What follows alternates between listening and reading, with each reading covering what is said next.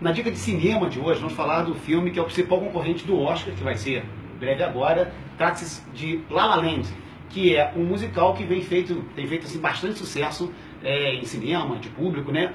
É, La La Land conta a história de dois jovens que chegam a Los Angeles tentando o sucesso no mundo do cinema e vão se defrontar com a realidade da, daquela situação.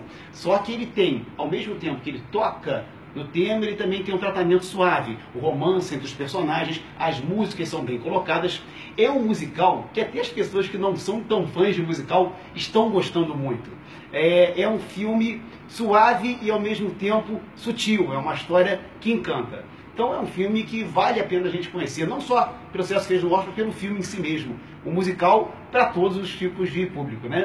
Então é a dica de agora, desse de cinema, né? La Land com a Emma Stone e o Ryan Gosling.